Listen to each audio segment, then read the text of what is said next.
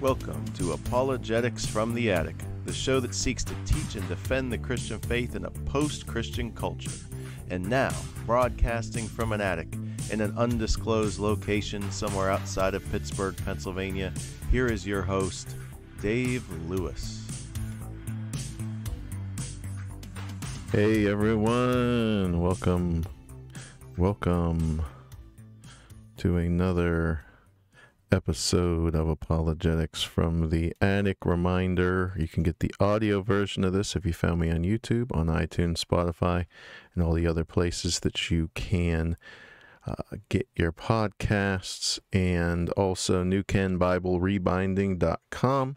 Uh, for all your Bible rebinding needs. And let's jump right back in. We're going to continue our study of systematic theology, and we're using as our text the Beeke Smalley Reformed Systematic Theology text. And today we're going to start on chapter two, I believe. What is theology? Part two. And this is an interesting chapter. Let's just jump right in for sake of time. I have some places to be, so I want to get this recording in. And we're on our analytical outline. Let's take a look at where we are so far. And like I said, these analytical outlines don't underestimate their importance because it helps you organize how you look at the text. So, last episode on our systematic theology, we looked at the branches of theology there, point B, numbers 1 through 8. And then um, we are talking, we are on point C now. We are on page 52, I believe. Um, that's where we are. No, we're we're on page 55. We're on page 55. We did do that final part. And what is theology part 2? Now, this is interesting. I'll probably title this episode um, you know, who does theology? The academic or the um, lay person, regular church person, you know, so to speak, uh, for lack of a better term. Uh, that's part of the discussion they have here. So let's just jump right in. Um, so the subtitle of this is a, theology is a spiritual discipline, and we're going to see the distinction between being a spiritual discipline and an academic task.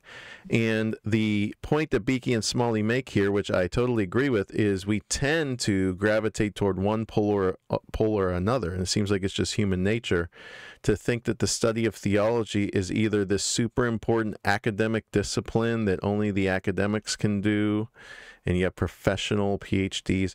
And then the other extreme would be to say theology isn't important. You just need to have a spirituality and have an experience with God, practically be a moral good person. And, you know, whether you have this academic grasp of systematic theology and the teachings of the Bible or not doesn't matter. Well, we want to bring those things together.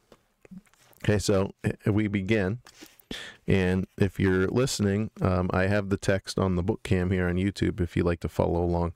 Uh, some people like the visual. Uh, academic education, I begin reading here. Academic education has great value, but a love for academics for their own sake can destroy your soul. First sentence of this chapter. Uh, absolutely true. Uh, it's called ivory tower syndrome. Um, it's the desire to say something novel or new uh, in many seminaries across our land. Uh, if you want to get a PhD, you have to find some new cutting edge theory of something instead of just going retreading the tried and true topics of old truths, right? Um, and then he quotes 2 Timothy 2.15, study to show thyself approved unto God, a workman who needeth not be ashamed, rightly dividing the word of truth. The calling of a theologian demands diligence and labor in order to properly interpret and apply God's word. However, the academic work of theology must aim at the high goal of pleasing God. So, see, those there's the two uh, things they're putting next to each other: the academic uh, labor and diligence to properly understand and apply God's word. But what's the goal of that? To just have intellectual knowledge? No, it's to please God.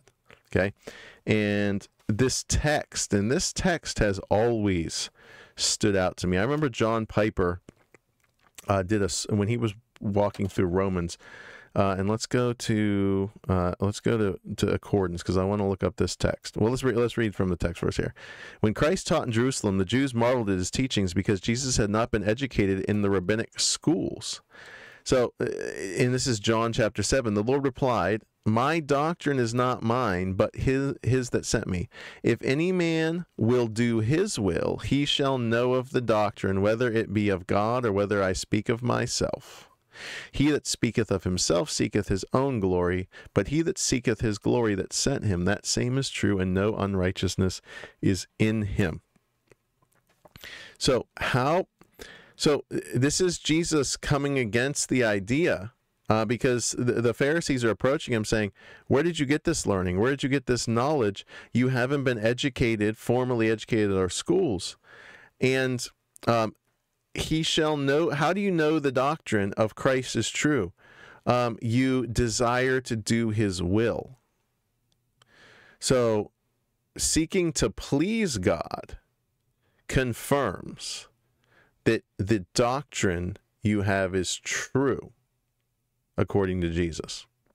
So, God, as, as they say, God the Son came with supernatural revelation from God the Father. No man can discover these truths by rational deduction or empirical observation. God must reveal them through Christ. Therefore, the work of learning true theology is more than an intellectual enterprise. It requires faith in Christ, submission to God's will, and pursuit of God's glory. So, very important, very powerful. Okay, so they're they're they're really solidly coming against this idea that systematic theology is just an academic task. And what are, what's their goal in this chapter? We will take a closer look at the nature of theology, especially its spiritual nature, as the effect of or a believing response to gospel revelation. We begin by returning to our definition. Okay. So now we have a more focused and extensive definition of theology. So last time um, or maybe two episodes ago, uh, we, we went over their basic definition of theology, and now they are going to uh, refine it more and, and dig deeper into it.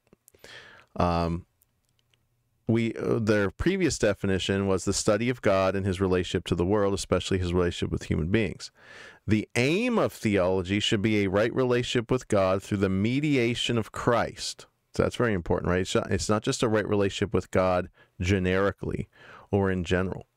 We believe that the only way to be properly related to the creator of the universe is through Jesus Christ, the historical person, not just some Christ concept, but the actual historical person, right? And then the Apostle Paul, they quote Philippians 3 7 to 8, uh, uh, incredible text. Philippians 3 is one of my favorite chapters of the Bible. Uh, Paul says, But what things were gained to me, talking about his religious privileges and attainments as a Pharisee, these I count loss for Christ. Yea, doubtless I count all things but loss for the excellency of knowledge of Jesus Christ my Lord, for whom I have suffered the loss of all things, and also I do count them but dung that I may win Christ. And then he goes on, not in the text here, but to be found in him, not having my own righteousness comes by the law, but the righteousness that comes by faith, faith in Christ Jesus. Um, the righteousness comes from God and is by faith. Um, and then they quote Augustine here. Augustine said that the true objects of our happiness are, quote, the Father and the Son and the Holy Spirit, who are at the same time the Trinity, one being supreme above all. We rest with satisfaction only by knowing, trusting, loving, and living in God for his own sake. All other things are means to be used to gain God. Here, read yourself some Augustine, man. I'm, I'm part of my um, next to my table. I, you know, I'll try to keep, well, sometimes my wife gets mad at me because I'll stack up 20 books on my end table in the living room, but I've been doing good with it. I only have like one or two there. Right now, I do have Augustine City of God sitting there, and while I'm drinking my coffee early in the morning, I'll try to read a paragraph or two or just one section. Powerful stuff. Um, and then, like I said, these guys, the bibliography here and the quotes, like William Ames, very good Puritan writer. Uh, he said theology is the doctrine of living to God. Right? Ames explained the phrase men live to God when they live in accord with the will of God, to the glory of God, and with God working in them. Thus, theology aims at the fulfillment of man's great created purpose to glorify God and enjoy Him forever. uh, the Westminster Shorter Catechism answer to question one. Um, what's the chief end of man? To glorify God and enjoy Him forever. And then we have Jonathan Edwards mentioned. Noted that some theologians, such as Petrus van Mastricht, that's a newer one that they just started released his stuff, I think, recently. I got one volume. Um, he slightly expanded Ames' definition, the doctrine of living to God by Christ. Okay, and they're saying how excellent this is uh, as a divine revelation of theology, doctrine, its object God, its mediatorial character by Christ, and its aim living to God. Uh, yeah, I circled that.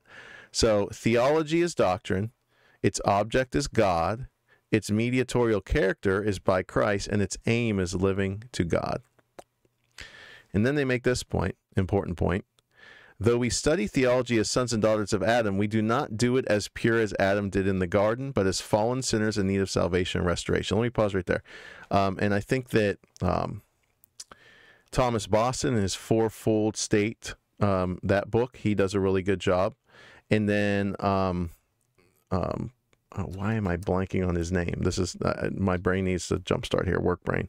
Um, Herb- Herman um, Hoeksema in his dogmatic theology. Oh man, he's got such a great section on Adam's understanding of God before the fall. Adam wasn't some primitive ape like person who had no knowledge.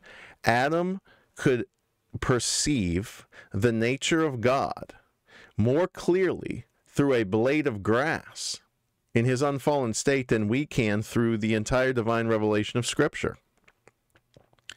He, he, before the fall, nature itself, in an unmediated, undiluted way, revealed the glory and character of God to Adam and Eve.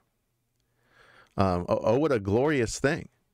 But now, as fallen sinners, we are in need of salvation and restoration, and that's how we do theology now. That's how we meditate on God as sinners, no longer as uh, unfallen. So, what does that mean? What, what's the implications of doing theology as a sinner? They say, therefore, theology is a study of God with a view toward the reconciliation of God and sinners through Christ. Okay, and then he quotes 2 Timothy 3.15. And then John Owen just keeps giving the references for who to read. He wrote this, evangelical, evangelical theology has been instituted by God in order that sinners may once again enjoy communion with God himself the All Holy One. The ultimate end of true theology is the celebration of the praise of God and His glory and grace and the eternal salvation of sinners. Furthermore, as those alienated from God by sin, we can do theology only by the light of His gracious revelation. And they quote Johannes Polyander, 1568 to 1646. Uh, let's let's read this quote. So they're just going through definitions of theology that have been given by past theologians. Quote, we define theology as the knowledge or wisdom of the divine matters that God has revealed to people in this world through ministers of his word, inspired by the prophetic spirit, and that he has adapted to their capability to lead them to knowledge of the truth which accords with godliness and renders them wise unto their own salvation and God's eternal glory. Unquote.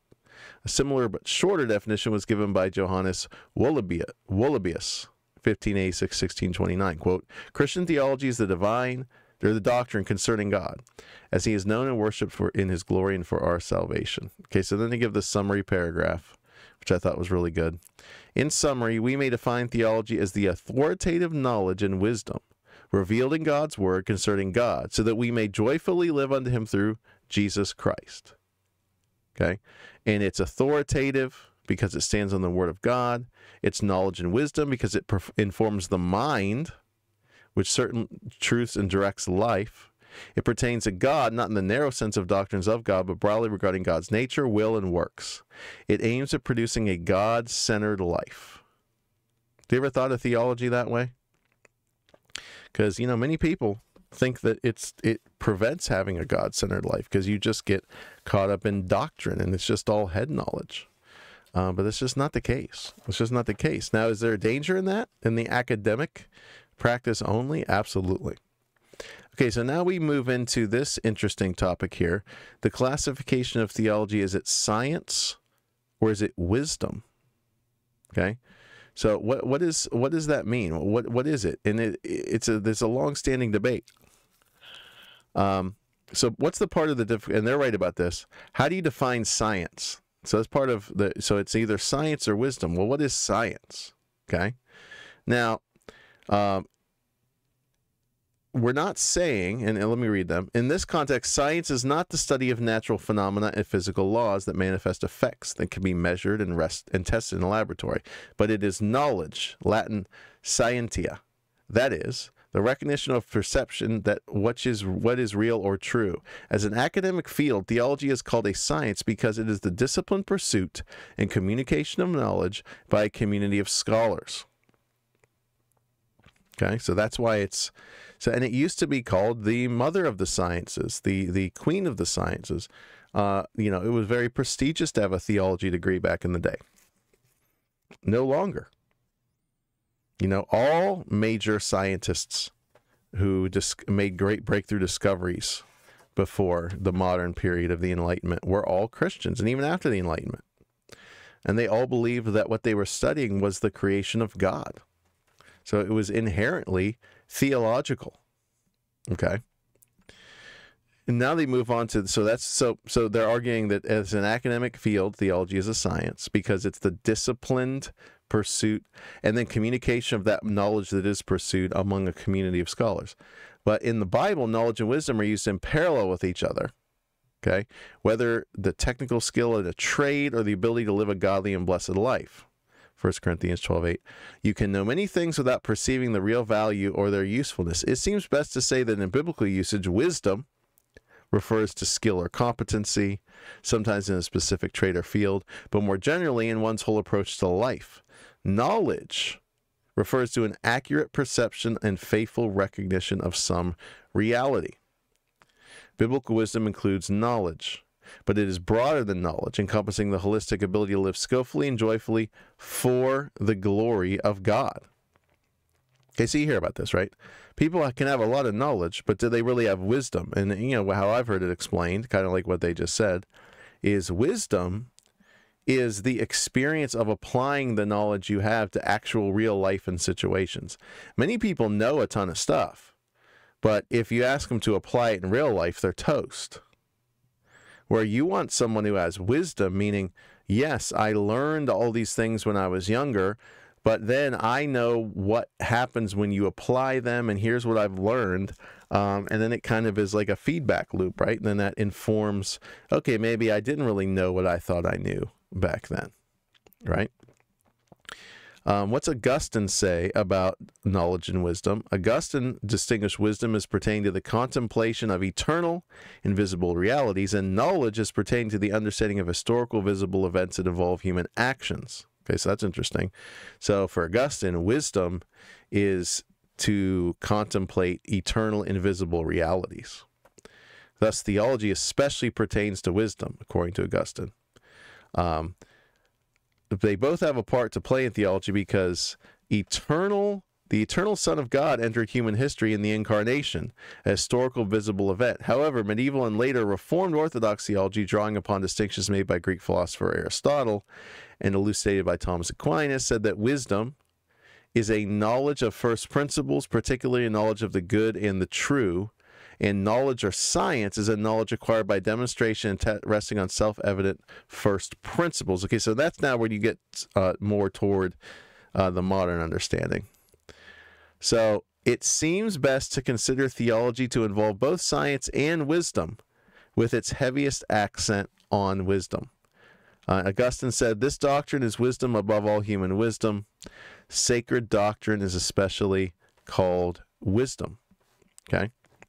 So, you know, this might seem like a pedantic little what, what's the point of this section, but um, is here's where this applies in modern days. For many in the American church,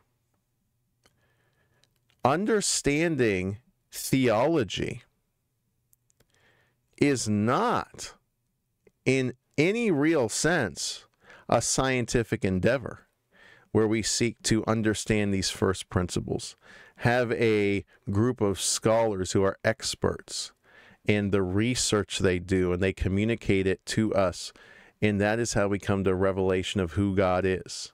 And that's how we contemplate God. And that's how we come to understand who God is. It's, it's not that, it's experiential mainly. It's going to a uh, you know church service and having emotional experience and having feelings, and that's how I experience theology. And we need to come out of that. It's created a very weak church that just gets caught up in emotionalism rather than being able to seriously think through the issues of our day and apply divine truths um, distilled from the scriptures, systematic theology, to contemporary issues. Okay. Um, so that's why this is an important section because do we really have Christian leaders who have national spotlight who put out wisdom and put out carefully researched and reasoned from their study of Scripture and their living out a life of holiness, do we have them speaking into the important issues of America? Yeah, yeah, of course they're out there, but they're few and far between. Um, if you want someone to follow with a quick, easy podcast, I would recommend Albert Mohler in The Briefing, who is a man who is formally trained in systematic theology and also has the wisdom to apply that Christian worldview that comes from Scripture to current events. Albert Mohler, The Briefing. Uh, I would I would highly recommend if you want an example of that, because Albert Mohler is not the type of person who's going to to agree and say, well, you know, the idea of systematic theology and, and careful study of the Bible is not necessary for any of this he would say it's absolutely indispensable for it. If you don't have someone who has thought through these issues biblically and done what we've talked about here exegetical theology, systematic theology, biblical theology, ethical theology, um, philosophical theology, the, all the things we studied before and all the topics, um, they hardly are going to be able to speak in a coherent and uh, you know Christian way into the issues facing our culture today. Um, we have Polyander. Let's get a quote from him. Uh, theology contemplates, uh, hold on, he says, um, the Bible calls it knowledge and it involves a knowledge of divine things that is a definite recognition fixed very deeply within the mind by the clearest shows of proof. Um, theology contemplates the unfathomable mysteries of God and functions as an architectonic standard that guides all the disciplines and as the final judge of all actions and thoughts outshines all of the other science. Sciences. Interesting. So the, the high view of theology, contemplating who God is, the mysteries of God, that is the ultimate standard of all knowledge, according to these individuals. We've really lost that in our society, haven't we? I mean, what, what God, who God is, and what the scriptures say is is never mentioned in public discourse by politicians, for example. Very rarely. Very rarely. Owen favored the idea that theology is spiritual wisdom, for it, quote, has the unique property of making men wise in the mysteries of the gospel by virtue of union with Christ, in whom are hid all the treasures of wisdom and knowledge. Okay. So, and they go on. Let's see if there's anything else I thought was good here. Okay, here's when I star something, that's my little uh, sign that this is the, a good wrap up quote. Um, in summary, theology is the divine knowledge and wisdom by which we serve God. We return to Ames' definition. Theology is the doctrine or teaching of the living God. Ames explains it is called doctrine, not to separate it from understanding, knowledge, wisdom, art, or prudence, for these go with every exact discipline, most of all with theology, but to mark it as a discipline which derives not from nature and human inquiry like others, but from divine revelation and appointment. So that's very important, right? Where do we get our ultimate authority as fallen sinners? Of who God is and what he does. And it's the scripture alone, the sufficiency of scripture to communicate these things, right? And then we have here, next uh, section, the orientation of theology. Is it theoretical or practical? Okay, so this is related to the wisdom and knowledge question or whether it's a science or not. Um, so this is another dichotomy that sometimes comes about where you know you'll you'll hear you, this is the type of quote you'll hear sometimes in churches. Uh, even pastors will get behind the pulpit and say it. You know, we don't do these fancy doctrinal terms in our church. We just love Jesus. You know, we don't get into that. That that breeds arrogance and pride. Uh, we're not just sitting in our ivory towers studying things. We we get out there and we we actually do things for the kingdom, right? We're very practical in our church. Okay, well that's I agree, um, but that can be that's I think an extreme that's out there quite a bit. And the other extreme would be what? Well, this person doesn't interact with anybody and just is an academic who reads books all day and writes papers for journals that pretty much nobody reads except people in his own circle. Um, and, and we're just co- contemplating things. That's not it either. Okay. Is theology contemplation alone, or is it in its very nature and by itself goes forth into practice? As this, that's a quote from Turretin. Francis Turretin, another very important theologian to, to know about. Theology is both theoretical and practical, though its focus upon knowing God and his works, it is thus more theoretical. If theology were merely theoretical, then it would be cut off from daily life. On the other hand, if theology were merely practical, then we would throw away more abstract but crucial doctrines such as the Trinity and predestination. Therefore, theology must involve knowledge. Now, here's they make the same point I was just making a moment ago. In the contemporary evangelical church, too many Christians think that we must choose between dead orthodoxy and anti intellectual activism or moralism. Right? So, these people who just talk about doctrine all the time, that's just dead orthodoxy. That's the frozen chosen, those Calvinist frozen chosen people. Um, and then you look at a lot of these places that, uh, you know, the mainline churches, there's many of them who, you know, put a lot of money into social work and social services and soup kitchens and homeless ministries and stuff like this, which is great. But they are totally heretical when it comes to key historic biblical doctrines. So, does it have to be that way? Well, I hope it doesn't.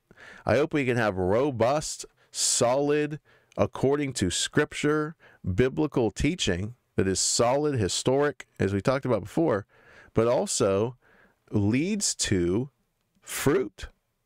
Right? Christians should be activists. They should be out there promoting biblical morality and be a light to the world, as Jesus says, salt and light.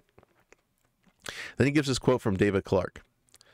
Uh, I'm not sure who David Clark is. Uh, I'm not sure if he's a modern guy or a, or a more Reformation guy, but uh, quote, he observes, or no, no, no, that was his observation before. I starred this one. As a result, Christians zealously pursue holiness, evangelism, social and political causes, and missions, and yet are disengaged from or suspicious of intellectual reflection, abandoning the academy to the wicked and unbelieving. So I've said this before and I'll say it again. Churches should have Christian education for their adult members, also the children, of course, but the adult members of the church who attend should have access for free the same level of academic teaching that goes on at Bible colleges or seminaries. Well, how can a pastor do that? Well, that should be a pastor's job if they're getting paid full time, 40 plus hours a week, to prepare high level, seminary level. And yes, I do I am on the side that I think pastors should go to seminary, be trained in seminary to be pastors. I'm not for now. Listen, God, God does whatever He wants. I'm not going to judge another man of what God's calling is in their life, and I'm not going to look down on them if they don't have education. But I'm telling you, I think the standard should be a biblical education, which would equip you then to prepare high academic level teaching for the congregation so the congregation is as being is being taught and is as well informed uh, uh, just like uh, you know bible college students and seminary students are being informed by their professors the pastor should be informing their people in the same manner and educating them the same manner. That, that's just me. You should have your congregation reading through some type of higher level academic systematic theology type topic or book in a Sunday school class, right? And and how many churches do Sunday school anymore? Like adult education. Like I remember being at this Assembly of God meeting with probably 50 to 75 pastors represented, 50 to 75 churches is a pretty decent gathering. And one of the speakers got up and asked for a show of hands. How many of you still do Sunday school, meaning a formal classroom style, you know, teaching between the services, after the services, before the worship services? Like two or three people raised their hand. It was quite striking. Why, why isn't that done anymore? I mean, it just shows you the value of it in a lot of people's mind. It's just, eh, eh, there's no value to it anymore. We, we don't have time, right? Sadly, so many pastors actually are just running a business. It's like, it's, it's like that's their, that most of their tasks that take up their 40 hours of their week is is like a CEO running a corporation and making sure the staffing is this and the, the, the future and the finances and the vision and the thing and then this and all these pieces are moving together.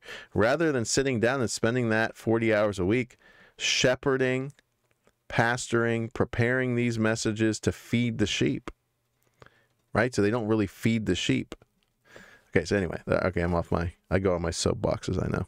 Um, so this, so so it's both. I mean, we, we it's it's if we sever theological contemplation. Listen, this this is good. If we sever theological contemplation from practical action, which is which is what a lot of churches are doing. Um, the, the measure of a church is the practical action it's taking and all the ministries it has going on, all the outreach it's doing, but very little solid Christian education. Let me jump back on my soapbox a little bit longer. Um, it drives me off the wall. And look, I'm not judging anybody. Listen, it's between you and God, but I'm just giving my opinion. It drives me off the wall when I watch pastors, instead of preparing uh, material themselves to provide their congregation in midweek Bible studies, if they even have them, Instead, they just purchase pre-packaged curriculums. And they have home groups or Bible study groups run by people who don't have any theological training. And they think to make up for that, oh, here's a DVD and here's a workbook. Just play this 30 minute DVD and, and go over the questions as if that's going to replace solid biblical, systematic theological teaching of your people. It's not. I'm sorry, it's not. Okay, off the soapbox. Now, we don't want to, if we do, what happens when you sever theological contemplation from practical action? Then we destroy the church's ability to develop the breadth and depth of wisdom necessary to glorify God in all of its life and work. Absolutely. Absolutely. Okay, then we have a paragraph about, they quote Jeremiah 9. Let not the wise man, 920 through 24, great verse, right? Let not the wise man glory in his wisdom, neither the mighty man glory in his might. Let not the rich man glory in his riches, but let him that glorieth glory in this, that he understandeth and knoweth me, and that I am the Lord, which exercise loving kindness, judgment, and righteousness in the earth. For in these things I delight, saith the Lord. Hmm. That's a great, that's a great one. But then they point out in Jeremiah 10, 1 to 16. However, theology is a kind of knowledge that demands action. Knowing God moves us to glorify him. Who would not fear thee, O King of the nations, for to thee doth it appertain. Okay, another soapbox. Let me jump on it. Modern worship songs versus ancient hymns. Or even reform, and not even ancient. I mean, there's hymns from the 1800s and early 1900s that are better. Um, when you just sing the same chorus and catchline over and over again and it's theologically anemic, look at the hymns. Four, five, six verses that talk about theology, who God is and what he's done, and that moves us to worship. And many times we just replace it with things that will stir on the emotions, rock concert style, with the lights dimmed and the music played correctly. Same feelings, by the way, you can get at a secular rock concert but we call it the Holy Spirit and we call it, oh, we're really worshiping God. When people leave, oh, wasn't that worship so good today? What they don't, a lot of times, what they don't mean is, oh man, I was able to contemplate. Wait, wait, wait. Um, I was able to contemplate God today. Right? I was able to glor I, I was moved to glorify God today based on what I learned about who God is and what he's done. A lot of times it's just emotion, right? Turretin said that, quote, the knowledge and worship of God are connected together inseparably, as in the sun, light, and heat can never be separated from each other. Great analogy, right? So the knowledge of God and the worship of God are inseparably connected. You can't separate the light and heat from the sun, right? The sun produces both light and heat, and you cannot separate the two. So many times is our worship of God lacking because we don't have the knowledge of God to go along with it. I, I think so. So neither can that, can that knowledge of God be true unless attended by practice. John 13, 17, 1 John 2, 5. Nor can that practice be right and saving which is not directed by knowledge. So see, it's both and. So you can have all kinds of practice, but not have knowledge. Right? The liberal mainline churches are filled with that. All kinds of people who practice things, and the evangelical church too. Let's not pick on the liberals. All kinds of knowledge, or all kinds of works, but do they have the knowledge? And then the other extreme, which is out there too. You got people who are very prideful in their understanding of reform theology. I know reform theology, but they don't do a lick of good in the community. Right? The, the practical caring for the poor and needy, you know, like helping people with practical needs in their lives. They don't do that. They just go around and tell people, "Do you know the gospel?" and they and they beat them with intellectual knowledge um, instead of reaching out in love and using that as a mechanism for people to come to know who God is, right? Van Mastricht said that Christian theology is not theoretical only, nor practical only, but unites theory with practice and is a knowledge of the truth which is according to godliness, Titus 1 1. Right? It's both theoretical and practical because theology orients us toward God. So basically, the whole point is, and they're making a, a, a, a what, what's the point of this? So this thick book we are looking at, which is 1,100 pages for just volume one, and there's three more volumes. There's four volumes, probably like, uh, you know, four 4,500 pages, 4,500 pages. What's the point of this? Well, the more we come to know who God is by studying the scriptures, the more that our lives will become godly. Right? Eh, many people don't believe that. Um, belief leads to behavior. Uh, many, many, many situations where people are struggling with life controlling issues and addictions and depression and anxiety and fears are because of a lack of knowledge of who God is and what He's done. It really is. Uh, let's let's read some Aquinas real quick. Aquinas says theology is taught by God, teaches of God, and leads to God. Uh, here's a star quote. Polyander said, Theology consists not of bare and empty theory, but of a practical science that powerfully stirs the human will and all the emotions of the heart to worship God and to cherish one's neighbor. So, what's the result? Um, and th- this should give us a desire to study these things. Many things that have been pushed to the side because they're not pragmatic. They don't lead to church growth. They don't get you a church of three, 500, 1,000, 1,500. Okay? You know, to have a church of 75 to 100 people and that's all you have for years on end, but those 75 to 100 people really know the scriptures? Right? No. We, we need to just do things that just continue to make growth, growth, growth. And I'm telling you, teaching theology and making that a benchmark of your shepherding will not grow you a giant church. But it will draw in the people who are hungry for the real deal. Because a lot of people show up at churches because the church is giving out a bunch of fluff, a bunch of emotion. Yeah, anyway, a bunch of entertainment. And then Jesus caps it off, John 17, 3. This is life eternal that they may know thee, the only true God, and Jesus Christ, whom thou hast sent. So we're 40 minutes in. For sake of time, there's no way I can do this section justice. But this is a cool section because the pre modern development of systematic theology. So they go through historically, right? Starting with like the Apostles' Creed and going through, uh, you know, early church fathers. And then they go into the medieval period. Then they go into the Reformation period and really just show. Uh, you know this this first starting of systematic theology starting to be done in history right? So we'll, we'll go through that next time. Um, and then they talk about how rationalism, the Enlightenment, emotionalism, romanticism, uh, how that really made inroads into uh, you know systematic theology and what that how that but it's it the, why does the church do this systematic theology and then finally this this section the loci of systematic theology meaning how do you organize the topics of systematic theology? And they go through a little bit of history of that. And then they actually give uh, the loci of systematic theology, right?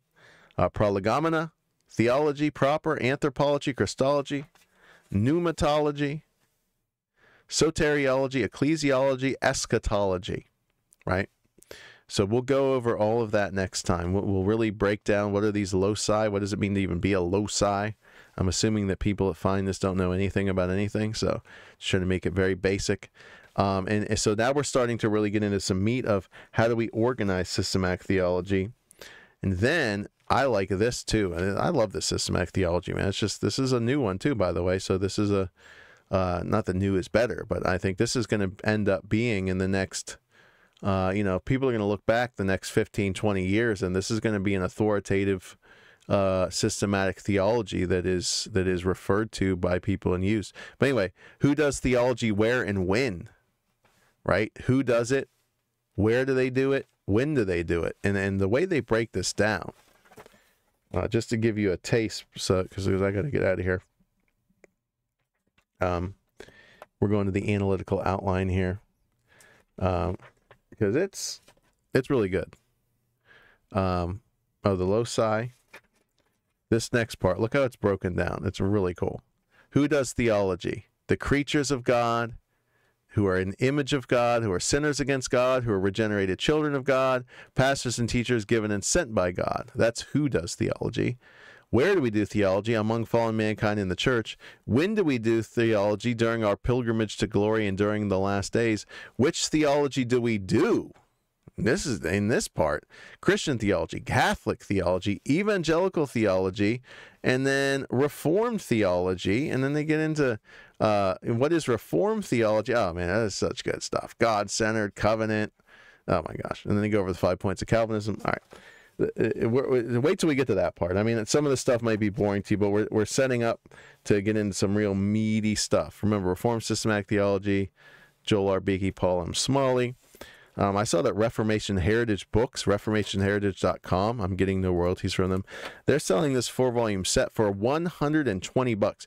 You can get this giant, like five, 6,000 pages of systematic theology for only $120. Um, if you need a systematic theology book and you're on a budget or a set and you can't afford all the, the all of them, this is a good just four volume set, 120 bucks. Can't beat it. Well, thank you everyone for joining us for another edition of Apologetics from the Attics. Like, subscribe, share. Um, we'll continue our study of the book of Romans next time and continue our journey through systematic theology. Please message me uh, on YouTube, on the YouTube video, if you have any uh, topics or ideas uh, that you'd like me to cover, anything you'd like me to review, and I'd be happy to consider doing it for a future program. So thank you, everyone. I appreciate it. And God bless to you all. Amen. See you next time.